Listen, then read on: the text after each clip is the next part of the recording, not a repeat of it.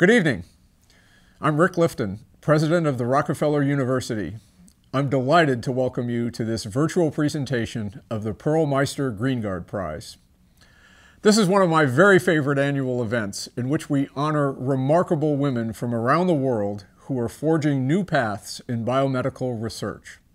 Since 2004, there have been 22 recipients of the Greengard Prize, all of whom are brilliant and innovative scientists who have helped to shape biomedical research over the past half century. Their achievements span a broad array of fields, including molecular biology, cancer research, immunology, biochemistry, genetics, biophysics, and neuroscience.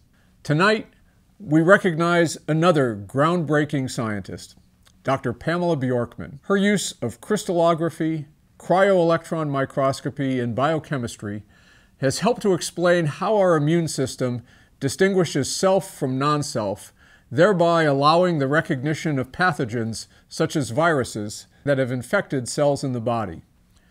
Insights from her work are fundamental to understanding not only how the body fights infectious diseases like HIV and COVID 19, but also for diseases caused by defective regulation of the immune system, such as autoimmunity and complexities of modern medicine like rejection of transplanted organs. I'm pleased to acknowledge my colleagues on the Pearl Meister Greengard Prize Selection Committee who are joining us virtually this evening to celebrate Dr. Bjorkman. We're fortunate to have such a distinguished group of scientific leaders taking part in the selection process, including four Nobel laureates. The complete committee list can be found on our prize website. The Pearl Meister Greengard Prize was co-founded by the late Dr. Paul Greengard and his wife, the renowned sculptor Ursula von Rydingsvard. Paul was a giant in the field of neuroscience. He received the, two, the year 2000 Nobel Prize in Medicine or Physiology for his crucial discoveries about the mechanisms of signal transduction in the brain that regulate the activity of neurons. His work has shed light on the causes of neurological and psychiatric illnesses, including Parkinson's disease, depression, schizophrenia, and Alzheimer's disease. He and Ursula chose to donate his monetary share of the Nobel Prize to establish tonight's award. Let's now learn more about the prize.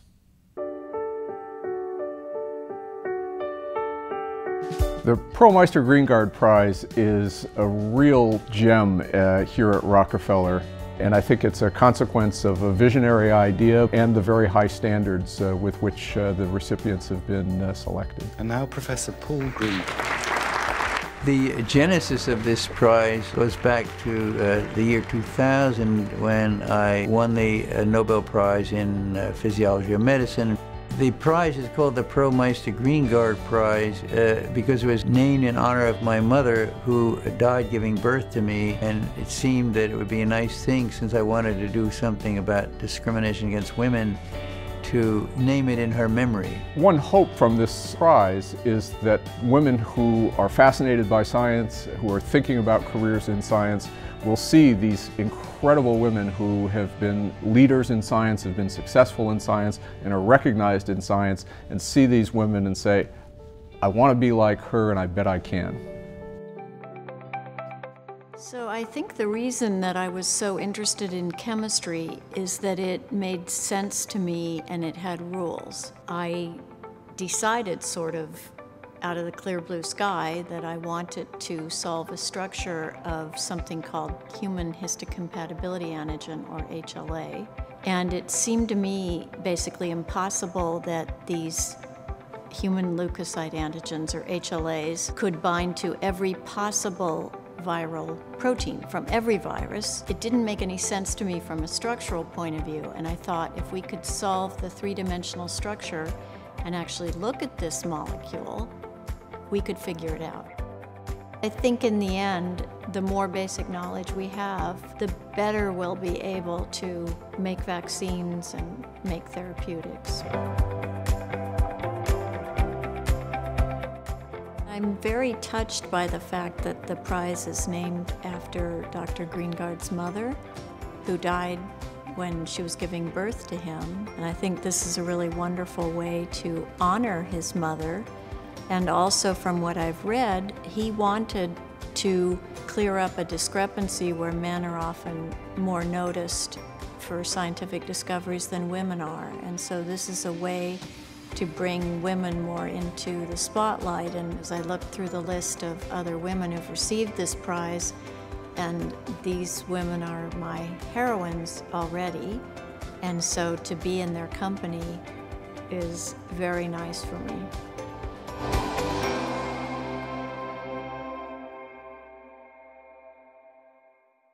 Thank you so much to Ursula von Rydingsvard Grieve and her team for producing such a compelling video and for sharing her parents' dedication to the Greengard Prize. A beautiful new permanent exhibit showcasing the Pearl Meister Greengard Prize has been installed on campus in the Abby Aldrich Rockefeller Hall. Each translucent plaque of the installation, mounted in the floor-to-ceiling windows in the Abby Reception Hall, displays the name and likeness of a recipient, a summary of her landmark discoveries, and the name of the distinguished presenter of that year's prize. We'll continue to add to this exhibit as new recipients are honored. It will be a main feature at all of the university's lectures, symposia, and other events that are held in this space. For those of you who come to campus, I hope you will take the opportunity to stop by the Abby to see this beautiful exhibit composed from dichroic glass, which produces a dazzling array of colors from each panel depending on the angle of transmitted light. It is really very striking and beautiful. It is now my great pleasure to introduce Dr. Mary Schmidt Campbell, our special guest presenter this evening. Throughout Dr. Campbell's illustrious career, she has established herself as a stalwart supporter of women and people of color in the arts and sciences. Dr. Campbell currently serves as the 10th president of Spelman College, the oldest private liberal arts institution for black women in the country. Located in Atlanta, Spelman College is also a national leader in the education of black women in the sciences, many of whom go on to receive doctorates in science, engineering, and medicine. Spelman is also consistently ranked number one on the U.S. News and World Report's list of historically black colleges and universities. Spelman College and Rockefeller University share a common early philanthropic supporter, John D. Rockefeller. Spelman College was founded in 1881 by two teachers and abolitionists from New England, Sophia Packard and Harriet Giles. At the time, it was named the Atlanta Baptist Female Seminary. Rockefeller and his wife, Laura Spelman Rockefeller, who was an educator, were introduced to the seminary by Packard. The couple supported its mission and growth in those early days, including the construction of the oldest building on its campus, Rockefeller Hall. In 1884, the school was renamed Spelman Seminary in honor of Laura and her parents, who were also noted abolitionists. The name changed to Spelman College in 1924. Dr. Campbell received a Bachelor of Arts degree in English Literature from Swarthmore College and a Master's in Art History and a PhD in Humanities from Syracuse University. After receiving her PhD, Dr. Campbell's professional career began not in academia, but in the arts. She served as director of the Studio Museum in Harlem for more than a decade. Her role there began at a time when New York City was on the verge of bankruptcy and Harlem was in steep decline. Under Dr. Campbell's astute leadership, the museum was transformed into the country's first accredited black fine arts museum, and she helped launch and nurture the artistic careers of many black artists. It is now a vibrant artistic center in Harlem and a hub for creative thinkers, both locally and internationally. In 1987, Dr. Campbell was named New York City's Cultural Affairs Commissioner, a role in which she became known as an indefatigable advocate for large and small arts organizations throughout all five boroughs. Four years later, she was appointed Dean of New York University's Tisch School of the Arts, a position she held for more than two decades. Her tenure at Tisch was notable for producing artistic trailblazers in theater, film, and interactive media. As dean, Dr. Campbell markedly diversified both the student body and the faculty, and she incubated several new arts and technology divisions within the school and the university. In 1990, the Smithsonian Institution named Dr. Campbell as chairwoman of a 22 member advisory board to study ways to exhibit the heritage of black Americans on the National Mall. This study laid the groundwork for the creation of the National Museum of African American History and Culture. In 2009, Dr. Campbell was appointed by President Barack Obama to be vice chair of the President's Committee on the Arts and the Humanities. As vice chair, Dr. Campbell took an active role in reaffirming the arts as one of the essential components of effective public school education. Dr. Campbell became president of Spelman in 2015, and in this role, she has dedicated herself to ensuring that every Spelman student with, graduates with a competitive edge. A cornerstone of these efforts has been Dr. Campbell's Imagine, Invent, Ascend initiative, a bold strategic vision that builds on the college's remarkable legacy and includes a deep focus on STEM innovation and technology. Dr. Campbell recently announced that she will retire from Spelman at the end of this academic year and will leave the college stronger than ever and prepared for the future. She is an elected fellow of the American Academy of Arts and Sciences and holds honorary degrees from a number of colleges. In 2018, she published the book an American Odyssey, the life and work of Romare Bearden, for which she received the Hooks National Book Award.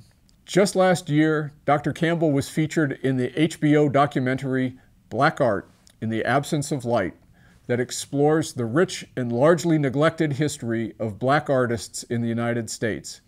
It is a powerful film, and I urge you to see it. We are deeply honored to have Dr. Campbell here with us today. Let's hear from her now. Thank you, Dr. Lifton. I am honored to be part of the celebration of Dr. Pamela Bjorkman, the David Baltimore Professor of Biology and Bioengineering at California Institute of Technology and the 2021 recipient of Rockefeller University's Pearl Meister Greengard Prize for Outstanding Women in Biomedical Research. Congratulations, Dr. Bjorkman you join a lineage of 22 outstanding women scientists who, before you, have received this award. Your addition makes the lineage of awardees that much more distinguished. If Dr. Paul Greengard were still with us, I would say to him, and I say to his spouse, the renowned sculptor Miss Ursula von Rydingsvard, that as an art historian who's been married to a physicist for 53 years, I am so inspired by your generosity and purposefulness as a scientist artist couple. I'm inspired not only by your willingness to use all of the proceeds of Dr. Greengard's 2000 Nobel Prize to seed the establishment of this award at Rockefeller University in 2004, but also by your willingness and honesty to call out a bias on the part of the scientific enterprise. The award is meant to be a means of remedying the negative impact of this bias within the field. As we all know, the genesis of the award, in part, was to acknowledge the discrimination women face in science and the fact that their contributions are often not adequately acknowledged. Based on the evidence of the past 17 years, we can all agree that the gift has accomplished exactly what it set out to accomplish and that is to shine a bright light on the groundbreaking contributions of women in science. Three women who have received the Pearl Meister Greengard Award have gone on to receive the Nobel Prize for their work. I'm inspired, too, to learn that the gift honors the memory of Dr. Greengard's mother, Pearl Meister Greengard, who by all accounts was a smart, talented young woman who died giving birth to Dr. Greengard.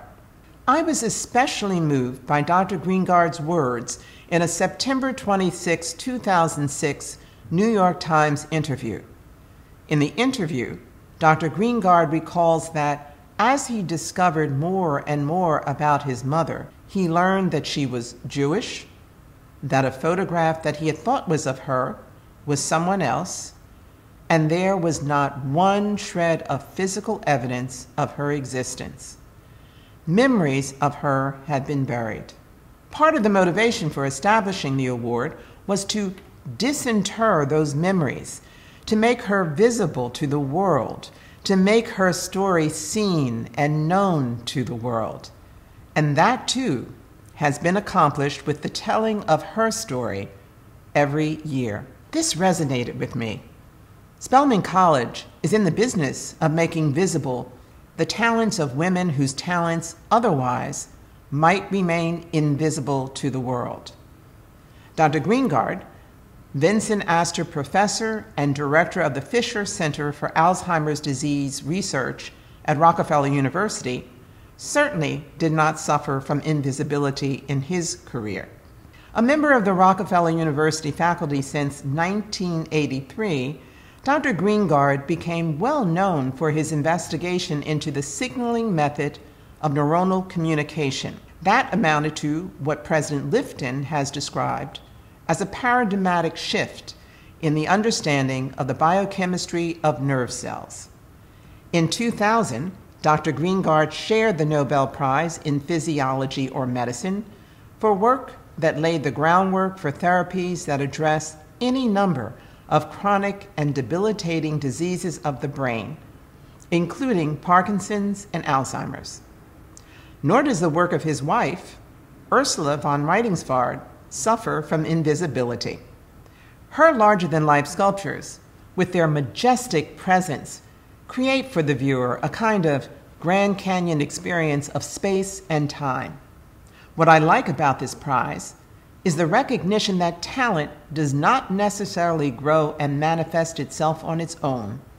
More often than not, talent requires time, attention, cultivation in order to push itself forward to become visible to the world. Dr. Greengard and Ms. von Rydingsvard understood that having one of the world's leading research institutions confer an award established by a Nobel laureate in an amount that was significant and in the context of a meaningful ceremony was the kind of care and attention that could enable women scientists to reap the benefits of the hard work and accomplishments they have sown during their careers. That resonated with me as well.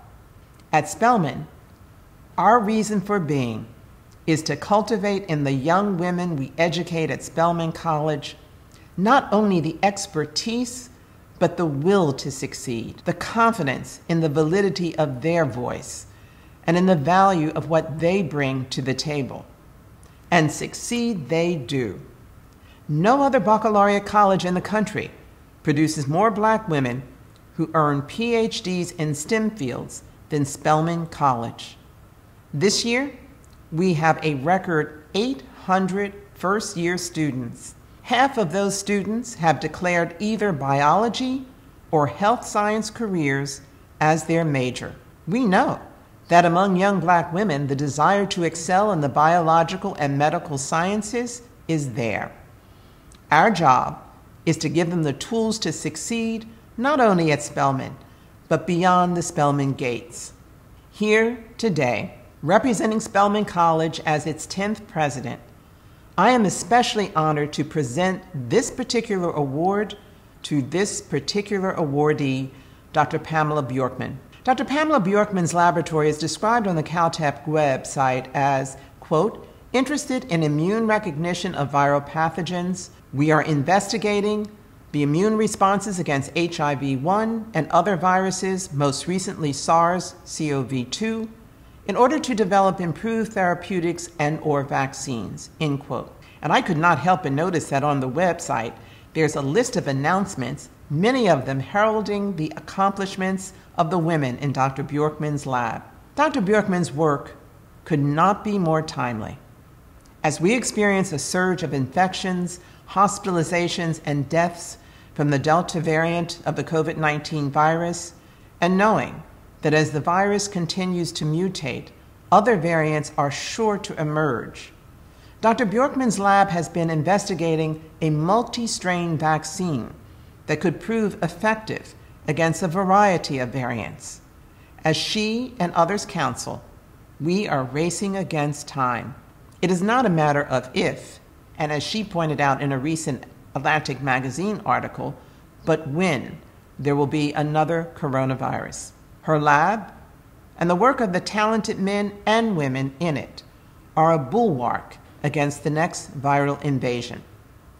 They could not be doing the work they are doing without that attention to the care and cultivation of their talent. And it is in that work, Dr. Bjorkman, that you, this prize, and Rockefeller University are an inspiration to Spelman College. Dr. Lifton, in your introduction, you reminded us that Spelman College and Rockefeller University share the same seminal donor, John D. Rockefeller. Let me digress for a moment to tell the Spelman College origin story because I think it has some lessons for today and for all of us attending this ceremony. According to one of Rockefeller's biographers, Ronald Chernow, our school was Mr. Rockefeller's first major philanthropy. His interest in the school came about in the decades after the Civil War.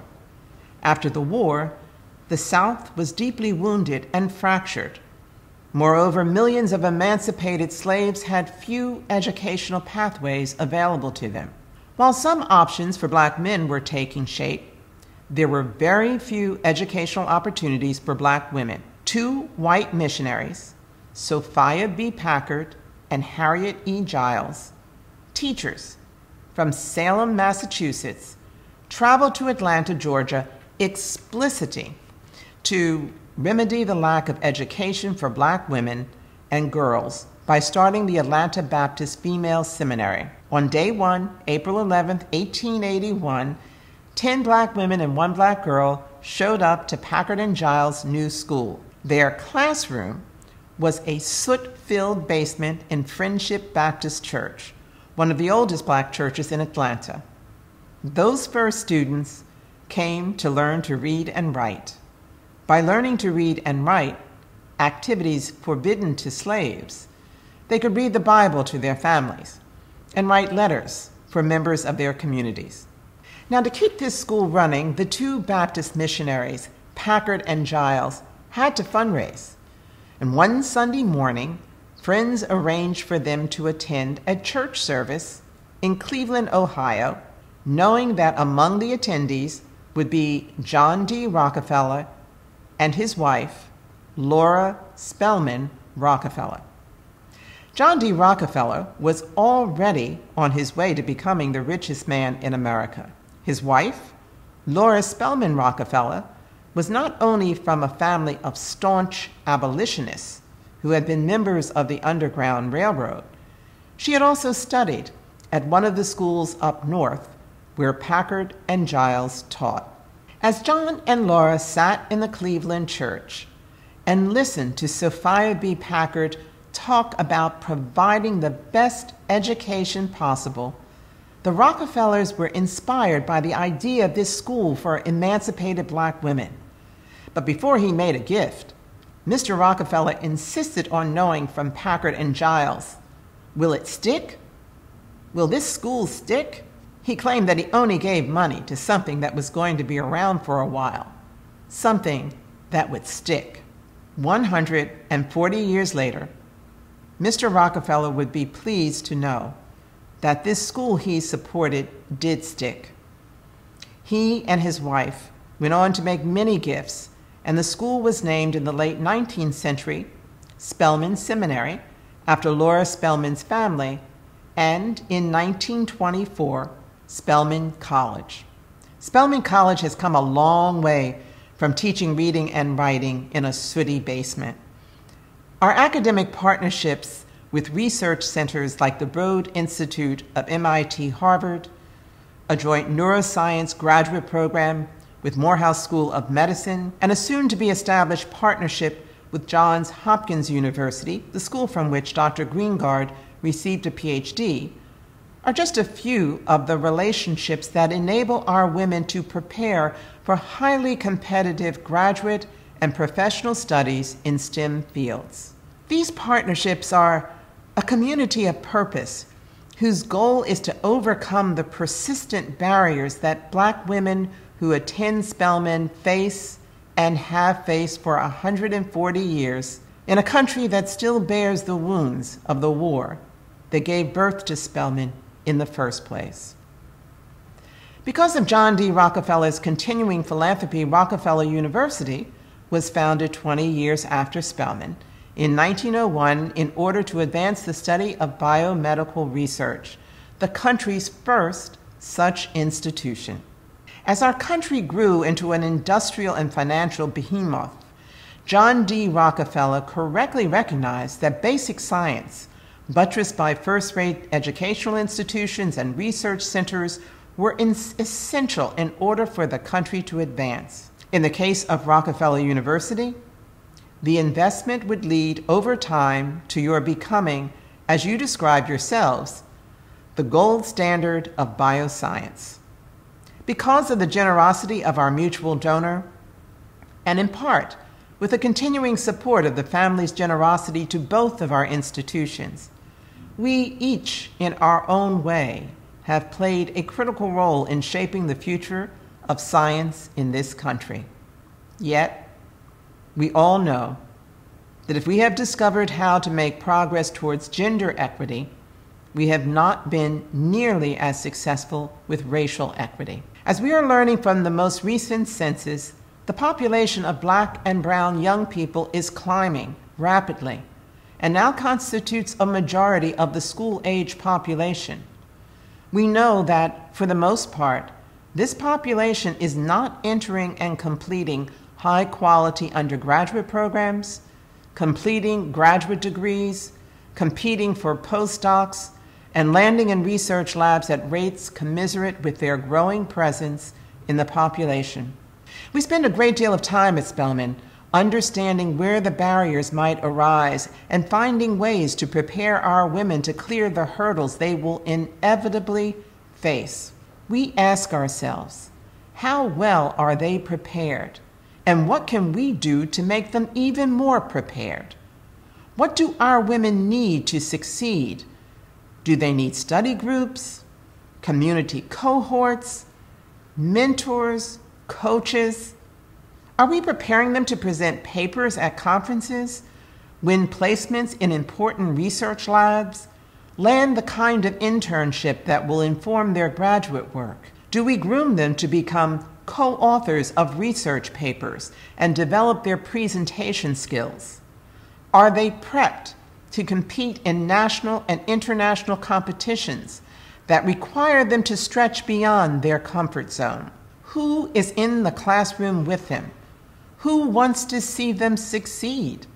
These are the questions we, the administrators, faculty, students, and staff at Spelman ask ourselves all the time. We are unrelenting. Why, you might ask?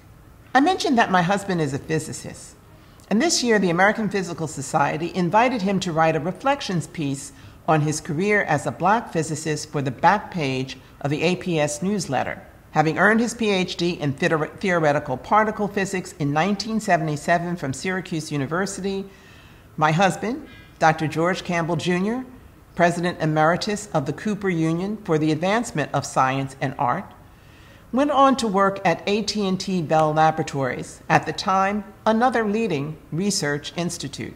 In the article, he made note of the fact that in 1977, when he earned his doctorate, there were seven black physicists awarded PhDs in physics out of 1,000 physics PhDs awarded that year. He goes on to note that 40 years later, in 2017, there were 14 black physicists awarded PhDs in physics out of 2,000 physics PhDs awarded that year, exactly the same proportion as 40 years earlier. As a group of educators who care about equity in the practice of science, we all have to ask what steps do we all need to take to make meaningful breakthroughs in bias and discrimination that prevail around race. I raise this issue tonight because I know that I am speaking to an audience that cares about the elimination of all kinds of inequities in order to open the practice of science to the most diverse set of ideas and possibilities available. Make no mistake, I am well aware that there's a great deal of work to be done in our institutions and long before students reach our institutions. Many of our urban school systems are broken and cheat some of our most promising students out of a good K through 12 education. We know that very often high need, high performing students don't even apply to college, let alone to elite schools. And many times, when they do attend four year colleges, they find the obstacles too numerous and too daunting to overcome.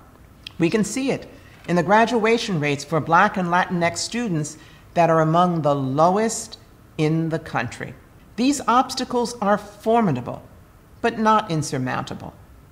Take the issue of K through 12 education.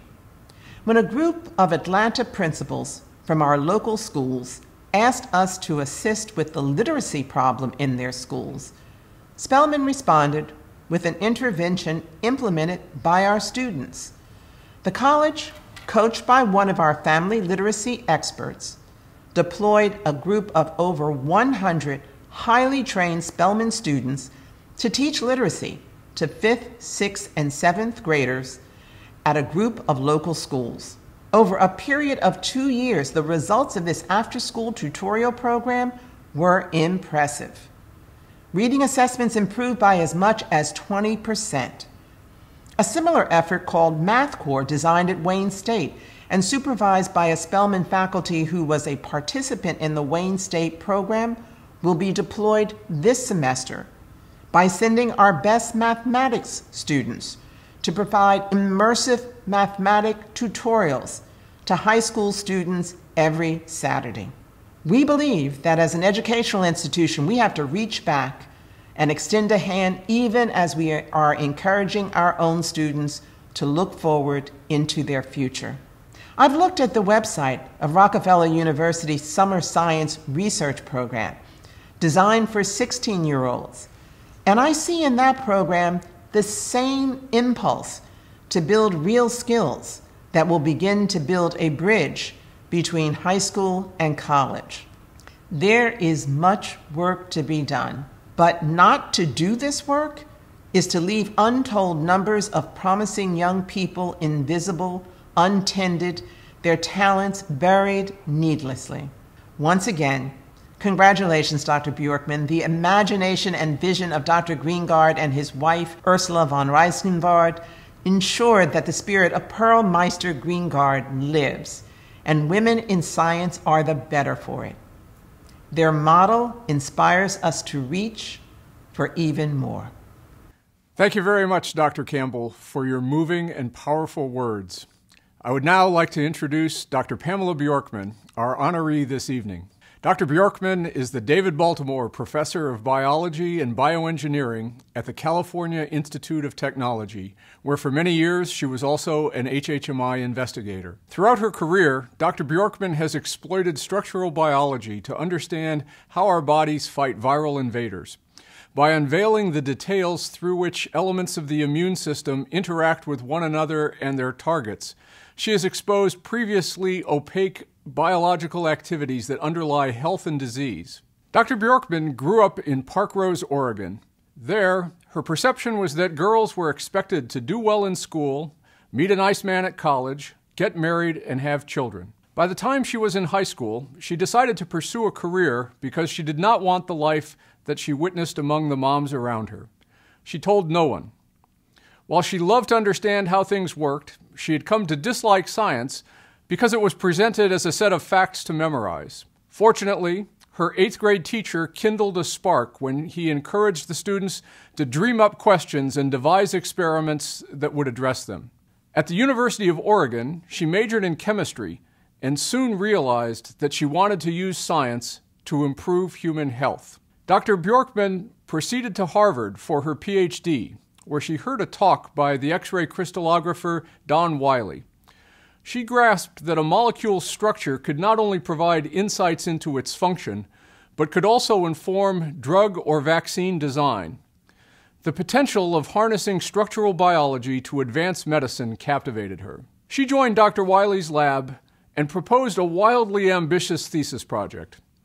At the time, immunologists knew that activation of cytotoxic T cells by virus infected cells requires detection of a foreign antigen as well as a host protein from the class 1 major histocompatibility group, the MHC, that enables discrimination of cells that are self versus non self. The mechanism for this dual recognition was not understood. This problem was central to understanding the function of the immune system.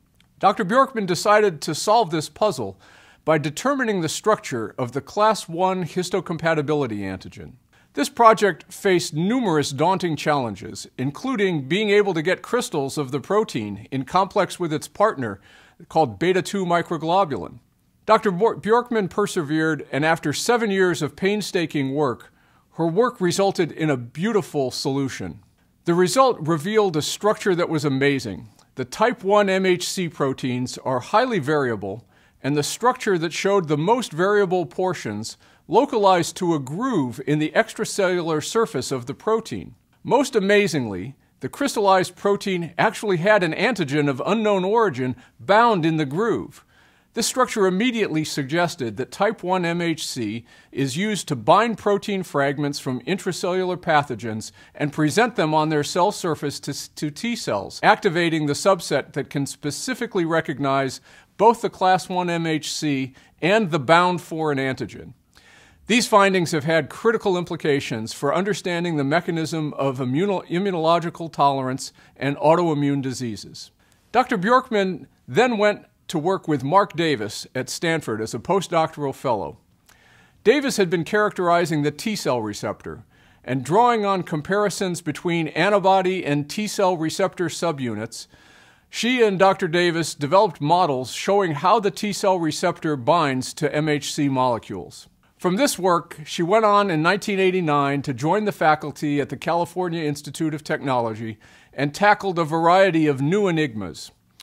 She discovered the novel mechanism of how a specific protein called FcRn binds to maternal antibodies to transport them first across the placenta and after birth across the intestinal wall to give infants immune protection prior to their exposure to pathogens. For more than a decade, Dr. Bjorkman has also been tackling a problem that has confounded biology since HIV emerged in the 1980s.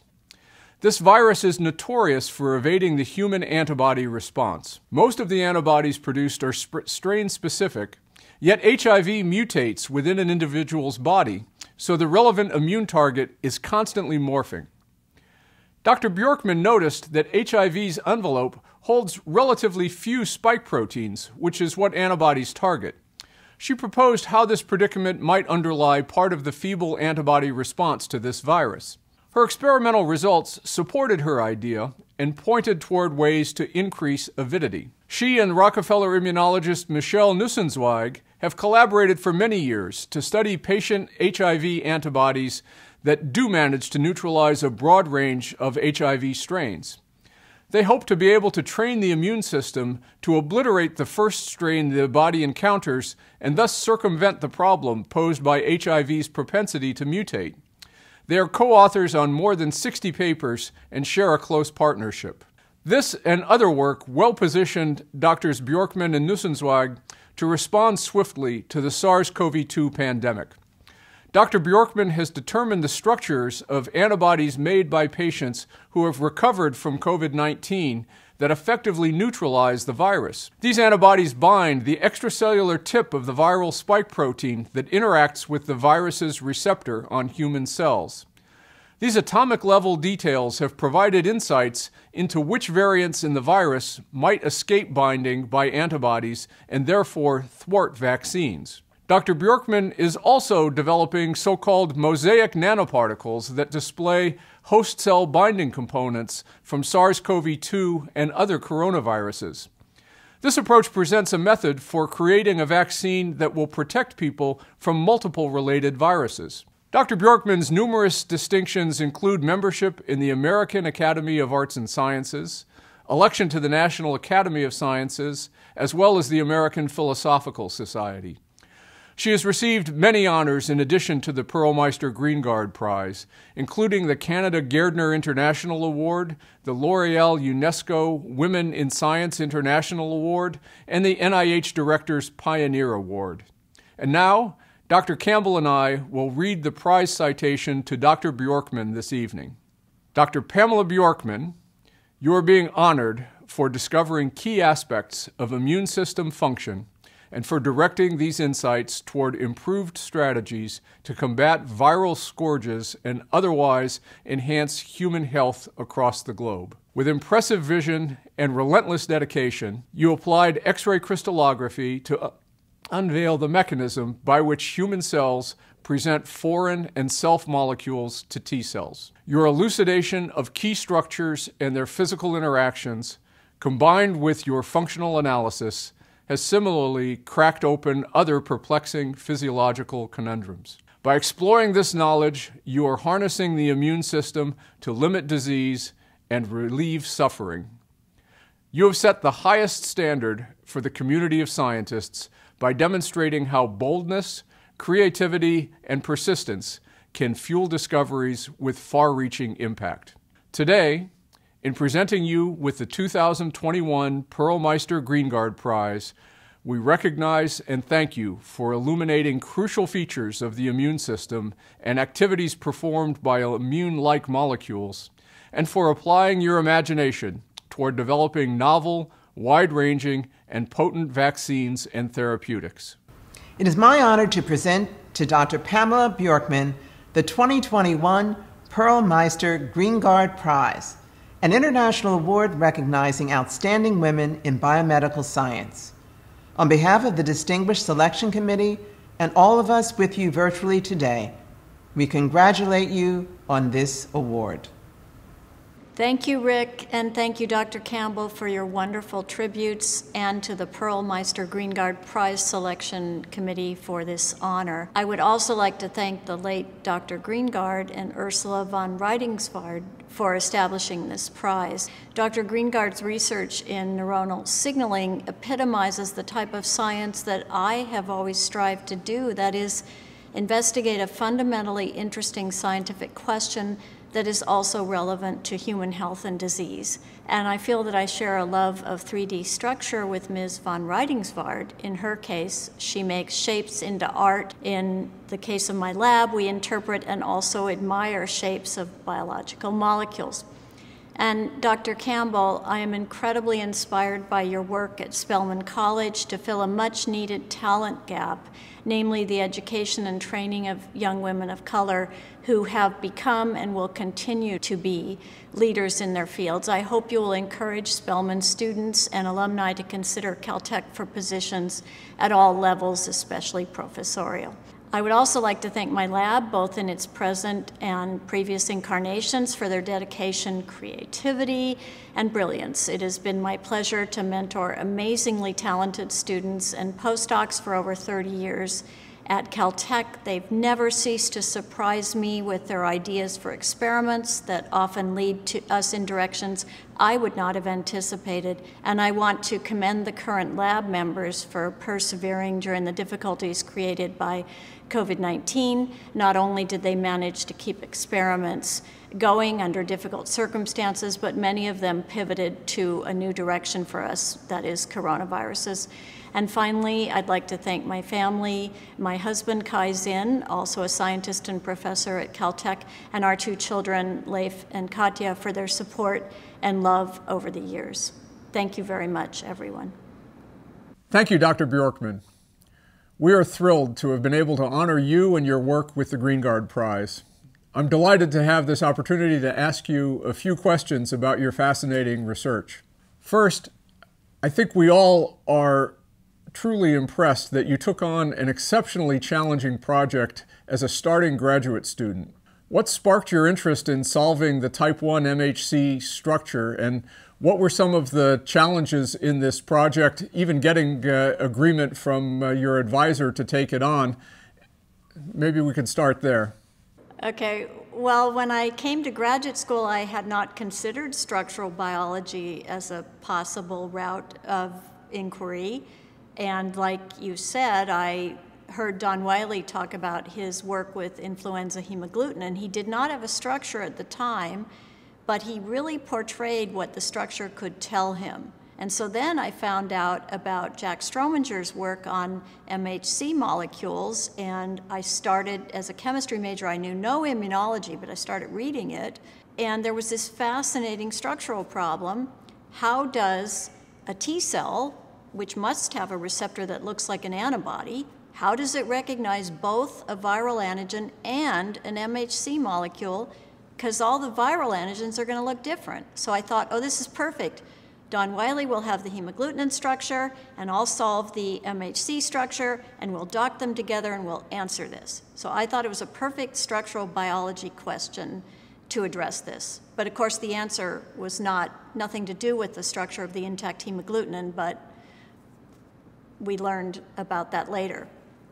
So, how did you go about uh, trying to solve it, and uh, how straightforward? You know, we, we look at the outcome and think, ah, well, okay, the successful project uh, as if it were preordained, but I'm sure that wasn't the case. Uh, it seems like a rather complex structure to have tried to uh, crystallize to begin with. You know, if we had known at the time that MHC molecules, when you purify them, they present a multitude of different peptides that are chemically heterogeneous no one would have ever tried to crystallize this. Luckily, we did not know because the idea was you need absolutely homogeneous protein. And this was not homogeneous by any means. I don't know why, but it did not crystallize well. These days, you can get crystals of MHC molecules with defined peptides, and you can solve their structure in a day but that was not the case back then. The crystals were very small and they were very thin, which was most of the technical problems. And so this required going to various synchrotrons for high intensity X ray radiation, which was the only thing that allowed me to get the data I needed to solve the structure. There were a lot of technical, very boring crystallographic um, problems along the way, which are described in my PhD thesis. And, and how about in the analysis? Uh, obviously, a lot of math and physics uh, in the analysis. Did you have a background that suited you well to the solution of this problem uh, when you started, or is this something uh, that you learned on the fly? I learned X ray crystallography theory, but I had taken a lot of math classes as an undergraduate, and so I was ready to dive into this. And there was a lot of, of theoretical things, but I would say that the the weirdest part of it was finally when I got reasonably reasonable electron density maps. There were various problems with them being extremely noisy and hard to interpret. And there was this weird density in the middle, which of course was the image of the mixture of bound peptides. But I didn't know that at the time, so I thought the maps were wrong. And so there was a, or there, there was some kind of artifact. And so there was like quite a while before we in the Wiley lab figured out by only by assigning every single amino acid in the extracellular domain of this MHC molecule were we able to say, okay, there's extra density. It's not part of the protein. And did the solution, when it uh, ultimately came together, uh, was that a surprise, or did you think, ah, well, yeah, this was pretty much what we expected to find all along? It was not what I expected to find it was definitely not what I expected to find. There, there were just, it was really fun to analyze this because there were there was more than a decade worth of research from immunology labs mapping the polymorphic residues on all these sequences of class 1 MHC molecules and then we find this groove at the top that's occupied by a peptide, and all the polymorphic residues point towards the peptide, either from the sides or from the bottom, and it just, all of a sudden, it made sense. But for some reason, none of this had ever occurred to me, and I don't think it had occurred to anyone else because certainly no one was talking about MHC molecules always being occupied with peptide, and no one had ever said, oh, I'll bet these polymorphic residues are going to be hidden, in fact, except recognized by the peptide. So it was a big surprise to me, but then it made complete sense, and we were so lucky that we had, like I said, over a decade of research into this that we looked at the structure and it just went, oh, I get it now. So, so it was exactly the right time. Had it not been technically challenging to solve that structure, it would have come out prior to a lot of this research, and it would have, I think, been uninterpretable. Well, that's an am- amazing story. Throughout your career, you've applied structural biology techniques to explore a variety of physio- physiological phenomena. So, how and why do you think uh, structural approaches are so powerful, and why do they provide insights that other methodologies can't? I think they provide insights in within the context of interpretations from other technologies. So what I like to do is get a structure and then interpret it with reference to either our experiments that are suggested by the structure or the experiments in the literature. I feel like I don't I personally don't understand anything until I see it in three dimensions. And that's not always necessary for making fundamental discoveries, but that's just the way I think about it. So once I see the structure, we can then design experiments or interpret experiments from the literature. Your work is a beautiful example of that uh, because uh, your work built upon another Perlmeister Greengard uh, Award winner's uh, work, uh, Pippa Merrick, who had shown uh, that this, this had to be a single molecule, the T cell receptor had to be a single molecule that was recognizing both MHC and antigen. Yes. That was like my favorite paper ever, the, the paper that you're referring to from Pippa. Pippa Merrick, and I breathed a great sigh of relief because the structure in, was a way to interpret that. Yeah, it was truly beautiful. So you then switched to work on HIV. Why was your insight about the relative baldness of HIV particles important for understanding the weak antibody responses to this virus? Uh, and, uh, and, and how did you come to work on HIV to begin with? Uh, okay, well, so I think it was around 2005 or 2006, David Baltimore, who was then the president of Caltech, he started, he wanted to do what he called engineer immunity against HIV, which means a gene therapy method to deliver antibodies. And at the time, there were very few broadly neutralizing antibodies. And so he was talking about this, and I thought, wow, if you deliver them genetically, you could modify them, and then you could make them better. So I thought, we know about antibodies, we know about protein design, we can make them better. So, of course, it was a lot more complicated than that. It's very hard to make them better, but let me just say that I thought that a way to make them better would be to allow them to utilize, to better utilize avidity effects, that is, simultaneous binding of their antigen binding fragments. So we started thinking about that, and so the, to cut a long story short, I began teaching freshman biology at Caltech for non-majors, which is called Bi 1. So it's a required course in the core curriculum. I taught this and I framed it on HIV because I wanted to learn about HIV myself. And I started looking at all the electron micrographs which were available at the time versus the schematics of HIV. And the schematics showed lots of HIV spikes, lots of them. And the electron micrographs did not. And so I started thinking there's something wrong here. If this particle, if this virion really has so few spikes, there is no way for antibodies to use both of their arms to simultaneously bind to the virion surface. And then, if the spike mutates, which it does in HIV, then they're not going to have avidity effects to counteract the mutation so that, you know, they could bind with one arm or the other, and they're just going to fall off and be useless. So we started thinking about that and reviewed the literature and published something in 2010. This was Josh Klein, a former graduate student in my lab. And so we thought about this in theory, and it has now guided a lot of the research in my lab. Beautiful. So, where are you going with this project now, and how, how are you going to be able to address this uh, challenge? Well, every time I think we've figured it out, HIV outsmarts us. Uh, it's a beautifully evolved virus, unfortunately for humans. We have made compounds that we think might be able to bind simultaneously to a single HIV spike trimer. They aren't practical to make, however, and so we don't think they could be used therapeutically. We are continuing to try and figure out. So, so there are no avidity effects if the spikes are too far apart. You can't reach between spikes with your arms if the spikes are too far apart. So you, there's no avidity effects. But what if you had a spike trimer and it has three identical places where the antibody fabs could bind and you could get two of them bound at once?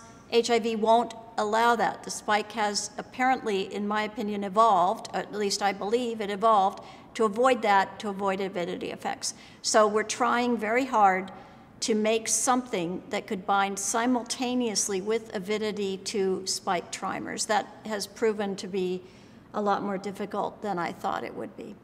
Be interested in hearing you talk about uh, the general understanding of how viruses hide immunologically important regions of their surface proteins and how you're trying to uh, outsmart them. Well, it's interesting because HIV is a master at this because it stays in someone's body lifelong.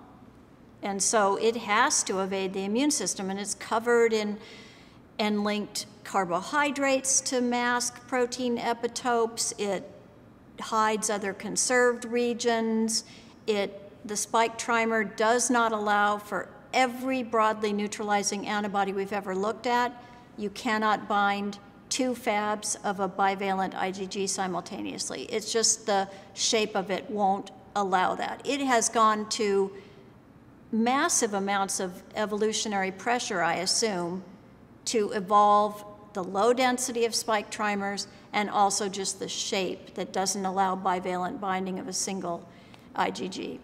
Now you look at SARS CoV 2, and it just puts its epitopes out there because coronaviruses are sort of you go in, infect, and then it goes out. It's not a lifelong infection. And so there's less of a evolutionary pressure for those types of viruses to evolve all these fancy escape mechanisms. And yet, here we are with uh, SARS CoV 2 now, and uh, these viruses are evolving to escape uh, the immune response. I'd be interested in uh, hearing you talk a little bit about uh, some of your recent research on viral escape mutants and how those relate to uh, evolutionary pressure, not just uh, to evade uh, the immune response, uh, but to optimize their binding to their re- cellular receptors. Yeah, I, I think in, it's the variants of concern for SARS CoV 2 are, of course, very concerning. I think the world kind of gave this virus a massive playground in which to infect and then mutate. And probably there's some thought that the variants of concern arise in immunocompromised infected people who keep the virus for longer before it's cleared, but then they go on and infect others. I do have a prop here for showing you the SARS-CoV-2 structure of the SARS-CoV-2 trimer. And I want to point out a couple of things about it. First of all, these pink and purple things are the variable regions of an antibody. It's one of Michelle Nussenswag's lab's antibodies, isolated by Davide Robbiani from COVID-19 infected individual. And this is a structure that Christopher Barnes in my lab did by cryo-electron microscopy. But I want to point out the gray parts. These are the receptor binding domains, and they bind to the host receptor, ACE2, uh, that lines your lung epithelial cells. And those are just sticking out there, ready for antibodies to bind. And so they're not hiding these. I also want to point out that um, if you take two of these, from modeling of all the structures we and others have done so far, and I think we've done like maybe 30 structures of Michelle's antibodies and other labs' antibodies, a lot of them you can bind bivalently with a single IgG. So you could come, the rest of the IgG would be out here. So you could bind with avidity to a single spike. You could probably also cross link between neighboring spikes. But I just want to point out that these receptor binding domains are way out there. You get really strong neutralizing antibodies to these. And so Michelle has, and others have been characterizing these. Um, I did want to point out, though, that uh, the receptor binding domains can be either up or down, and these antibodies come off. And so what you're seeing are two, these two RBDs are up, this RBD is down, and you can only get binding to the receptor, the ACE2 receptor, if they're up. And so part of the fun of doing the structures are seeing if the, if the receptor binding domains are up versus down. They, uh, like I said, I think they can only bind to the receptor, to the ACE2 receptor if they're up. But I want to point out that um, the variants of concern are all up here, the mutations up here, up here they're not down here in this part that's sort of hidden. That is remaining constant. And it's fairly constant among different uh, SAR- viruses, which are SARS-like beta coronaviruses. So that part is one of, you know, there is sort of hiding the more conserved regions. So that harkens back to HIV a little bit in that sense. But it's certainly a lot easier for your immune system to make very powerful neutralizing antibodies against coronaviruses, but you know, SARS-CoV-2, now that it's been in so many people, is making mutations up here, and we can just look on our structures and predict which antibodies will be affected by those mutations. You can then do experiments, and it will verify if the antibody binds in that site, it's likely to be affected. So this poses the question of uh, now that uh, monoclonal antibodies are uh, increasingly being used uh, to uh, treat people who, uh, who are early in infection or to prevent disease, some of the viruses that are circulating in the population have mutations that prevent the antibody binding that you just described. Uh, do you think you can now, knowing the structures, effectively model the uh, uh, what might be uh, an antibody that would restore binding of these antibodies? Yes, yes, and in fact, we've got um, there's there are antibodies known that have been published from Vir, the company, and I think one other paper, and also our lab in collaboration with Michelle's lab it binds to this place down here. I can't even point to it, it's a little bit obscured. And so that those are not sensitive whatsoever to changes in the variants of concern. And people make those antibodies because the, the two we characterized came from a COVID 19 patient who had recovered. It's just that they don't make that many of them. So our vaccine effort in my lab is specifically geared towards trying to raise those antibodies, not these. These are extremely powerful and very well neutralizing, but you can get escape from them in, a, uh, in the variants of concern. Now, fortunately, the vaccine induces a polyclonal response, so does COVID-19 infection, so does, so does SARS-CoV-2 infection, a polyclonal response. So you're likely, even the variants of concern won't wipe out your complete response, and there's also T cell responses as well, which we haven't gotten into. But I really think we must have, be prepared for the next infection, the next crossover infection from animals into humans of a coronavirus. And I think the best bet is to raise antibodies specifically against these regions, which are sort of hidden and are less easy to make. And those should not be affected by the mutations in the variants of concern. And also, they're conserved among sarbecoviruses that might potentially cross over into humans in, in a new epidemic or pandemic. So, because these sites are so highly conserved uh, uh, across the evolution of these viruses, uh, you believe that uh, there's an opportunity to make a pan coronavirus uh, family vaccine then? Well, I pan sarbecovirus vaccine because that means SARS like beta coronavirus. We, we cannot yet do it for alpha coronaviruses, although we could make a pan alpha coronavirus vaccine. But so far, we've made the um, prototype, and it's been tested in animals so far. It makes neutralizing antibodies that we want that cross react between sarbecoviruses. So that's what we're trying to push forward. It's fascinating. So you're also working on mosaic nanoparticle vaccines against coronaviruses. Where did that idea come from, and uh, what are their theoretical and actual uh, abilities? Their design, I understand, depends in part on deploying these conserved regions. And uh, do you think that this is a path that uh, will lead to success with uh, these uh, viruses that haven't yet emerged?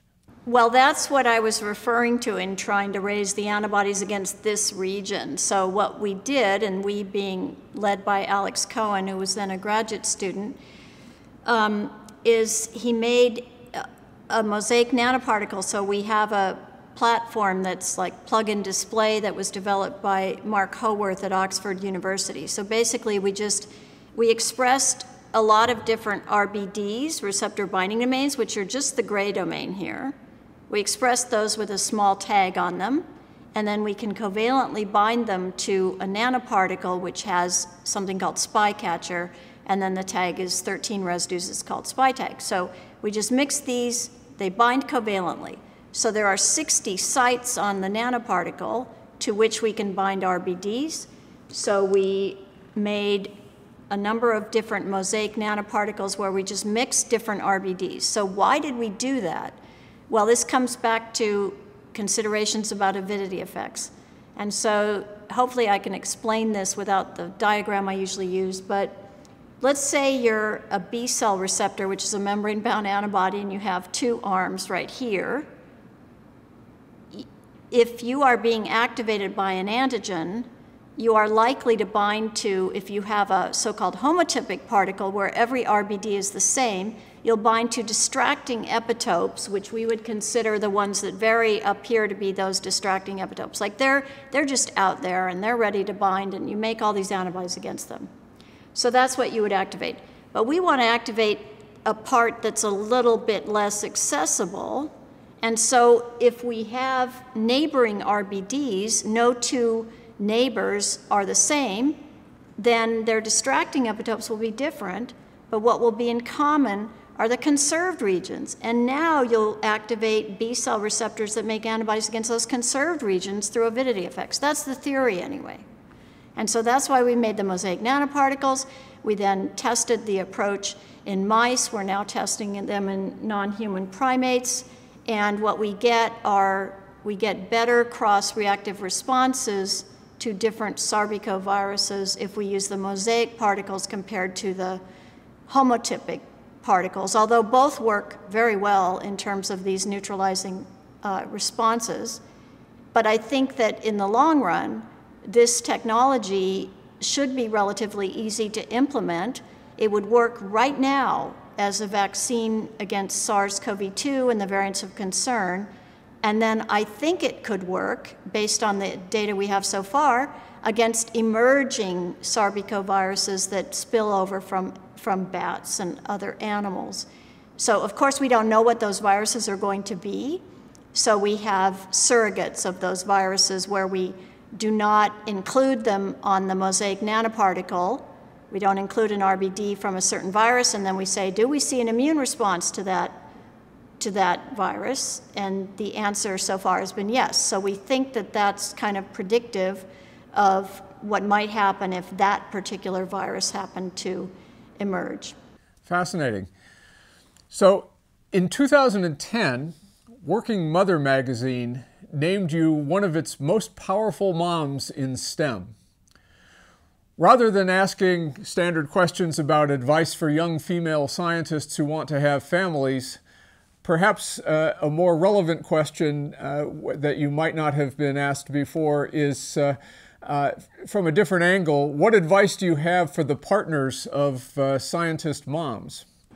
I think my most important advice would be that as the partner of a woman who's a scientist who's had a baby, if it's your baby and you're married to that person, it's important to realize that there's a lot of so-called emotional uh, baggage or something or emotional work that goes along with being the parent of a child like when they get older well first there's daycare considerations and arrangements and then there's doctor's appointments in their school and, this, and it goes on and on and on and this often falls to women. I talk to women all the time, and they're the ones who do this. And it adds up to the point of being really difficult. So I would say, please invest in that as well and make sure that the mother of your children is not the person who is completely and utterly responsible for doing that.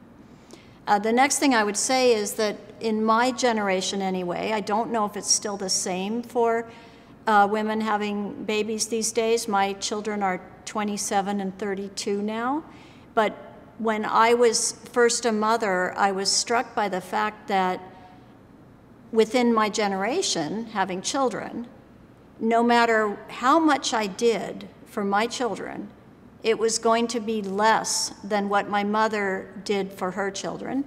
And no matter how much my husband did for our children, it was going to be more than his father did. So, men in general at least in my generation, would feel great about their kids and what was going on. And women would not necessarily feel great. And I thought about that constantly. And I think there might be a little, maybe people could sort of appreciate that and think about it. It sounds like another system that's uh, going to continue to evolve. At least we can hope. Thank you. So, once again, Pamela, all of us here at Rockefeller would like to extend our warmest congratulations uh, to you on being the recipient of the 2021 Perlmeister Greengard Prize. A special thank you as well to Mary Schmidt Campbell for being part of this celebration today. To everyone in our virtual community, thank you so much for joining us. We look forward to seeing you all in person at a future event. Until then, I hope you and your families stay safe and well. Have a terrific evening.